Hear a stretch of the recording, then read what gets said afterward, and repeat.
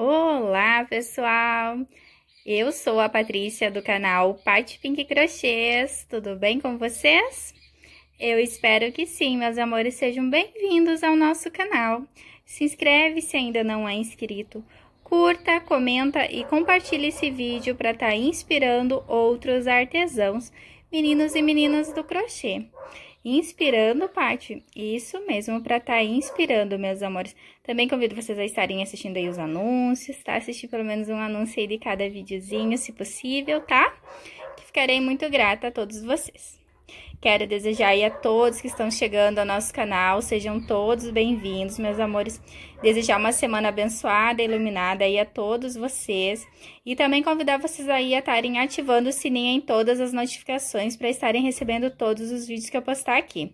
Essa semana em especial, eu vou estar mostrando para vocês a minha produção da semana passada, né? Que eu fiz aí de bolsas. Eu trabalhei a semana passada toda em bolsas, cada dia aí né? Tive uma produção diferente, tá bom, pessoal? E eu também vim aqui tá compartilhando com vocês para tá aí inspirando, tá? Eu vou tá falando aí as cores que eu utilizei, quanto de material que eu gastei, tá? valor total aí do peso da peça. Então, pessoal, eu vou estar compartilhando com vocês os detalhes de cada bolsa que eu confeccionei aí na semana passada. Então, mais uma vez, convido você a estar ativando o sininho se quer saber um pouquinho de novidade e o que eu estou produzindo aqui, tá bom? Então, essa peça aqui maravilhosa, eu tô começando hoje segunda-feira, né? Desejar uma semana abençoada a todos vocês. Eu trouxe essa bolsa maravilhosa aqui, essa bolsinha da Mari, tá? Bem rápida, bem prática tá? Bem uh, multiversátil aí, tá? Eu confeccionei ela com o fio 6, pessoal.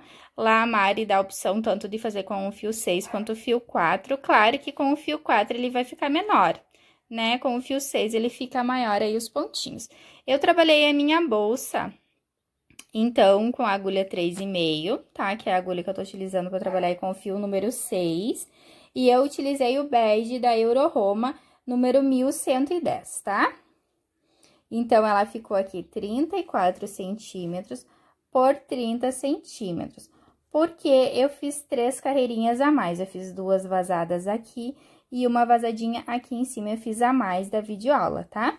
Lá a Mari fala que se quiser aumentar aqui também pode, ela explica certinho lá como que tem que fazer os aumentos. Se quiser aumentar para cima também, tá? E aqui tem um lindo coração, então, em um dos lados, tá? Essa aqui é a alcinha. O que eu fiz a mais, então, foram essas duas carreiras vazadas aqui. Uma carreirinha aqui, eu coloquei esse cordãozinho, tá, pessoal? Então, eu apliquei o cordãozinho, já fiz direto daqui um, umas correntinhas que eu vi que dava pra amarrar. E aqui também eu fiz, tá? E aí, eu transpassei ele aqui, ó, pelo meio, tá? Só mesmo pra tá ficando fechadinho. Aqui eu desamarrei, ó, dá pra passar aqui pelo meio também, ele fica bem fechadinho. Mas isso é opcional, tá? Como a Mari disse que poderíamos estar usando a nossa criatividade, lá ela faz com aplicação de flores, eu optei aqui por algo mais clássico, tá, pessoal? Então, mais neutro, mais básico e ficou um charme, como a minha mana falou, tá? Então, eu coloquei as pérolas aqui na pontinha, pérola número 8, tá, pessoal?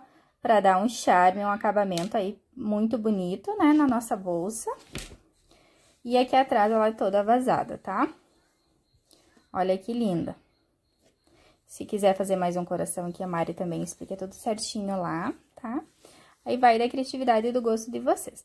Mas, eu fiz assim, então, achei que ficou muito linda né? Ela ficou 34 por 30, então, de altura.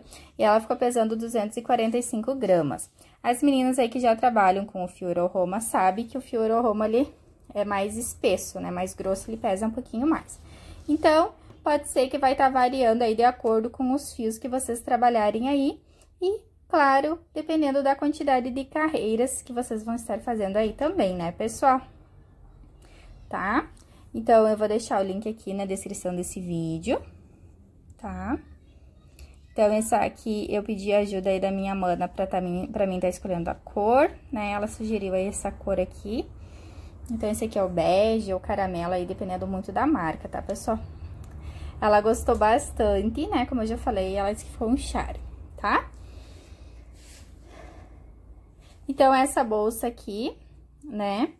Aí, valor de venda, a Mari sugere lá uh, entre uh, 35 e 60 reais. Claro que vai depender muito de quanto que se paga no barbante e quanto que cada artesã quer, né? Também vai estar cobrando aí na sua bolsa, tá, pessoal?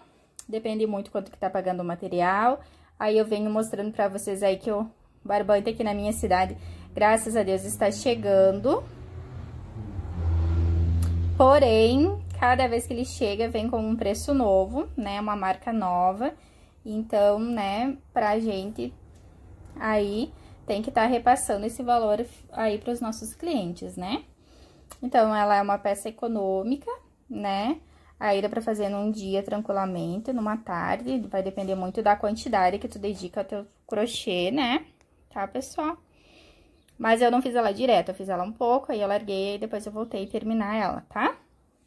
Então, eu não sei dizer exatamente em horas aí pra vocês, tá? Porque eu não contei aí as horas pra mim tá fazendo ela.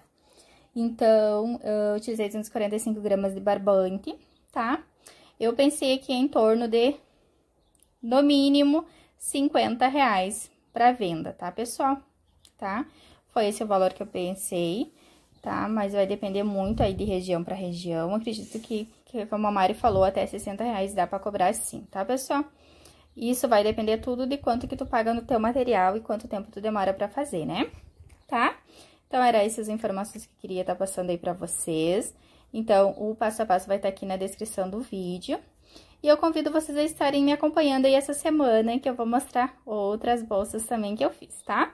Então, eu faço parte do grupo da Mária, não sei se eu já comentei com vocês. E aí, lá ela convidou as meninas a estar confeccionando essa bolsa, tá? Como se fosse um desafio, né? Mas, na verdade, um convite aí para as meninas estarem se inspirando, tá? Então, lá a Mari fez, então, para ela estar tá carregando aí a Bíblia para estar tá levando para a igreja, né? Também pode ser usado com essa finalidade. Mas também deixa eu botar aqui mostrar para vocês, ó. Ó, deixa eu botar aqui, peraí. Ó, cabe tranquilamente o planner. Caderno aqui grande também cabe, porque já provei, tá? Então, é bem versátil aí a bolsa, tá? Então, gostei bastante. E é isso, meus amores. Desejar aqui mais uma vez, né, uma semana abençoada, iluminada aí a todos vocês. Obrigado por estarem sempre aqui comigo, tá? Ah, pessoal, eu acho que eu não mostrei, tá? Mas aqui eu botei cordãozinho, né? Como eu falei pra vocês que é opcional. E aí dá pra ajustar, tá? Deixa eu ver se consigo. Agora eu não vou conseguir ajustar. Agora eu não vou conseguir ajustar, pessoal. Peraí. Olha, pessoal, se quiser ajustar mais em cima, ela fica mais aqui um modelinho mais delicadinho, tá? Então, assim é o jeito que eu mais gosto, né? Pra, pra meu uso, no caso. E aí fica a critério e aí uma dica pra vocês. Se vocês quiserem ou não um cordão, ou dá pra fazer um cordão livre, né? E transpassar. E aí deixar se a cliente quer ou não com o cordãozinho. Aí ela pode tirar, tá? Eu fiz fixo, como eu mostrei pra vocês mas tudo vai depender da criatividade de vocês, se quiserem com aplique ou não, tá? Como eu falei pra vocês, eu fiz conforme eu usaria, conforme meu gosto, né? E aí, surgindo encomendas, claro que a gente vai fazer conforme o gosto da cliente, tá bom, pessoal? E a minha mana também colaborou comigo, né, na escolha das cores, tá? E ela achou um charme, então, assim, tá? acredito que vai dar pra fazer fechadinho assim, né? Transpassa aqui, tá, pessoal? Só pra dar um detalhe mesmo, um charminho na peça. Um charminho a mais na peça, tá bom, meus amores? Obrigada pela companhia, obrigada pela presença de vocês sempre aqui comigo no canal, meus amores. Fiquem todos com Deus. Um beijão, se cuidem e aguardo vocês no próximo vídeo. Tchau! Her alarm goes off and she gets up to watch the morning news. Doesn't work no more, but tells a lot of stories about youth. Drinks more lately, ain't got pills in many different colors too. Morning light is showing, she moves the chair to look out at her view. But a shop was built right across the street,